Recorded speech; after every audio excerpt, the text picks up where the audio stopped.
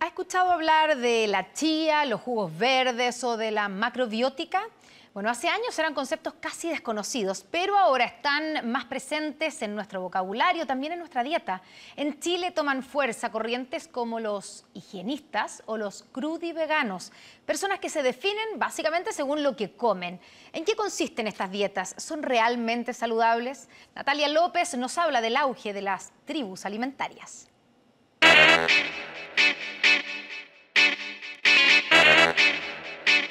Si hace unos años ser vegetariano era casi de otro planeta, hoy la alimentación saludable es un concepto establecido.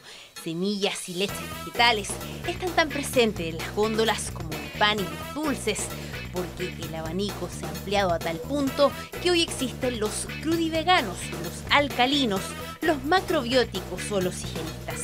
Tantas tendencias como las ganas de llevar otro estilo de vida, uno más sano y que va más allá de una dieta. Yo soy lo que como.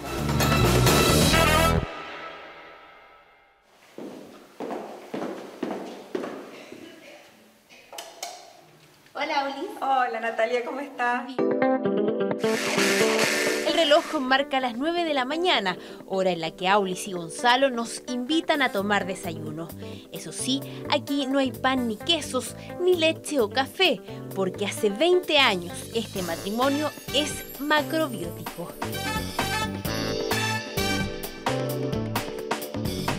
La actividad comienza temprano en la cocina, un lugar sagrado para esta pareja de ingenieros que clasifica y elige sus alimentos de acuerdo a energía que tengan. Pueden ser, según lo definen, como yin o yang, o bien estar en equilibrio.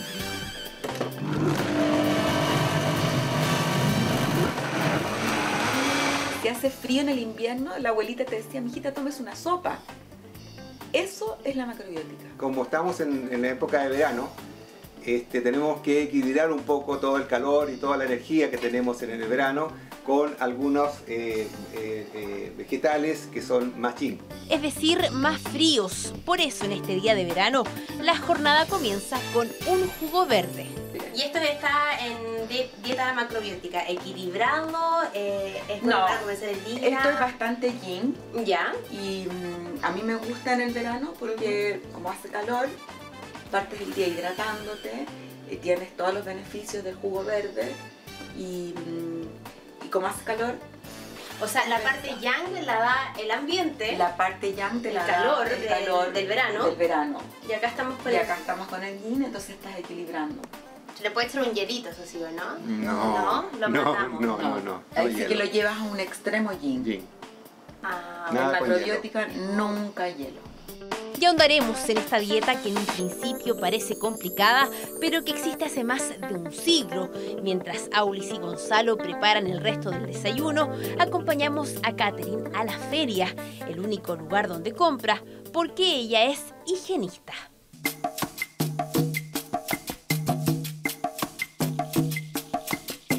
Va a salir en la tele, la ve. Ah, La más hermosa para usted, pues. este póngame la más bonita, ¿ya? Casero, ¿cómo es la clienta? ¿Es buena? Bueno, es fiel. Es fiel. Difícil que sea de otra forma porque Catherine solo se alimenta de frutas, verduras y una que otra semilla. Nada más entra en su dieta, ni hablar de comidas procesadas e incluso agua. Todo eso está prohibido. La gracia de la dieta higienista es que es anticancerígena por excelencia. O sea, por ejemplo, las pastillas que yo me acabo de comprar Ya. tienen más de 15 componentes anticancerígenos. ¿Cuánto comes en total en, en el día? De kilos, de fruta, de verdura. De, de fruta, si hago un día de fruta, yo diría que unos 2 kilos y medio de fruta. Pero ojo porque no se pueden mezclar. Para los higienistas el tutti frutti es casi un pecado, al igual que la carne o los chocolates. Un estilo de vida que aunque cueste creerlo, a Catherine la acomoda muchísimo. Lo practica desde hace 11 años y según ella, el higienismo la sanó del asma. ¿No te aísla socialmente la- una dieta así?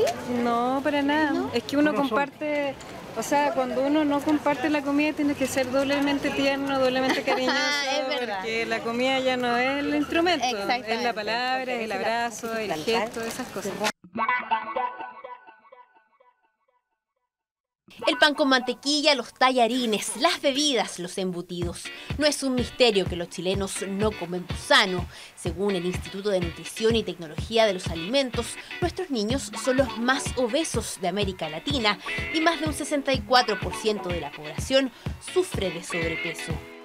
Pero también es cierto que en los últimos años se ha desarrollado una mayor conciencia frente a la importancia de alimentarse mejor.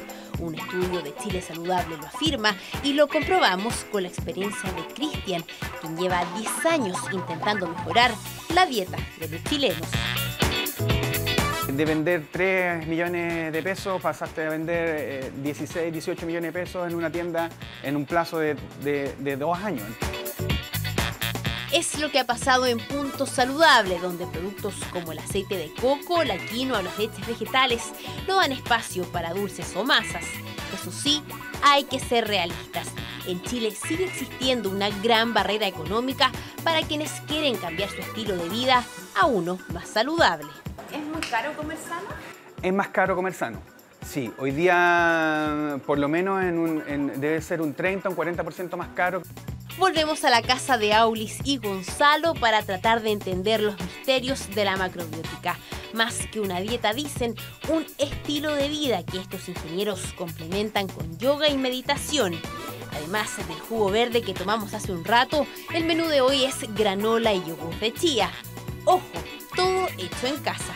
Mucho apuntamos a que nuestra alimentación, ojalá, por lo menos en un 50%, se sea en base a estos alimentos que son más balanceados.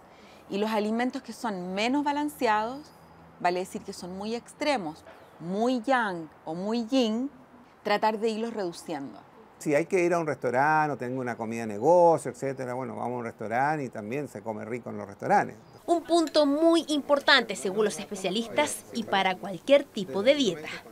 Puedo ser perfectamente vegana, vegetariana, higienista, y, manejar la alimentación lo más natural, lo más sano posible, sin que eso llegue a ser el punto focal de mi vida.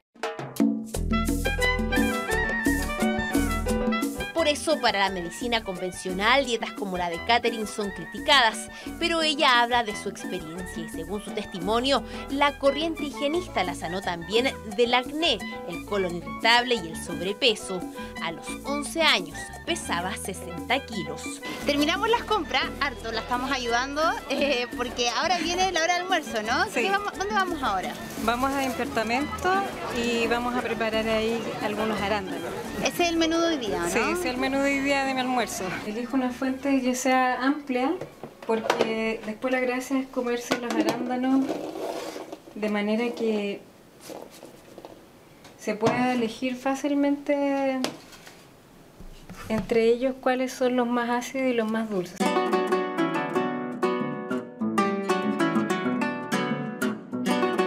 Y puede demorarse hasta una hora en la primera comida del día. En la tarde el menú serán duraznos y en la noche una ensalada grande con algún tipo de cereal. El hambre, dice, no existe para ella, tampoco el teflón, el celular, el desodorante e incluso el papel higiénico, un estilo de vida que estudió en Francia y que existe hace más de 200 años. Es el arte de mantenerse limpio en el fondo. Limpio no, no tanto por fuera, diría yo que más bien por dentro. Como, como uno mantiene limpias las tuberías del intestino, las venas, las arterias, eh, la linfa, la sangre, cómo mantengo limpio en ese sentido. ¿Y cómo se mantiene limpio? ¿Qué comes? Eh, por ende, uno tiene una dieta que es atóxica, o sea, en el sentido de que no tiene toxinas. Se ha visto que el exceso de consumo de fructosa, que es el, el azúcar o el, el, carbohidrato que contienen las frutas, eh, se han visto muchos estudios donde aumentan los triglicéridos. Porque para los nutricionistas la dieta ideal incluye al menos 30 tipos de alimentos al día. Pero también es cierto que estas corrientes no recomendadas por la medicina convencional están tomando fuerza. También hay restaurantes que, por ejemplo, quitan de su menú todo lo que sea de origen animal. Ya chicos, aquí en la fraternal, ¿dónde está mi? Aquí está mi copita. nuestra periodista Natalia y Fernando en cámara. Nuestra hermosa morena, dorada, la modelo de la semana, Amanda Guzmán, nuestra chef. Gracias, Patito, gracias, muchas gracias. Partió siendo vegana, pero hace ya dos años Amanda pasó al crudiveganismo. Ser crudivegana es comer frutas y verduras crudas, eh, principalmente frutas. Eh, si vas a deshidratar, que es entre comillas cocinar para un, cru- un crudivegano, es que no supere los 42 grados Celsius. Porque de lo contrario, dice Amanda, los alimentos pierden sus nutrientes. Su experiencia es parecida a la de Catherine con el higienismo. Afirma que mejoró su piel y desaparecieron todos los problemas al estómago. Puede comerse hasta 10 plátanos al almuerzo y algunas cosas sometidas a calor, pero siempre después de las 4 de la tarde. Nunca, pero nunca en su cocina habrá un pedazo de carne. Esto está hecho con pulpa de zanahoria, con zapallo italiano rallado, un sofrito de cebollas con ajo, está hecho con y, mm, harina de linaza. A veces hay gente que dice, oye, ¿qué comen los veganos, los vegetarianos? Como que no conciben la vida sin un pedazo de carne. ¿Hay recetas o no para poder? Muchas, ¿sí? muchas. De hecho acá la mayoría de los menús son veganos. Cada día más gente llega a probar sus platos, muchos no solo por salud, sino también por conciencia con el medio ambiente. Somos veganos, pero en el fondo somos personas que no que decidimos dejar de comer animales porque nos dimos cuenta que los animales que nos comemos son igual a los perros que cuidamos en nuestra casa.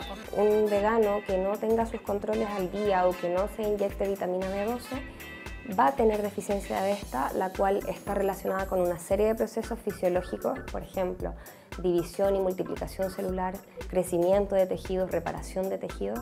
Y por lo mismo Amanda se hace exámenes regularmente, aunque nos afirma que casi nunca se enferma y que apenas gasta entre 60 y 80 mil pesos mensuales en alimentarse. Se dice que la alimentación del superhumano mejora tu piel, mejora tu pelo y principalmente eh, hay, un, hay una claridad mental. po. Te empezáis a sentir bien desde adentro. ¿Qué edad tienes? 35. Mira.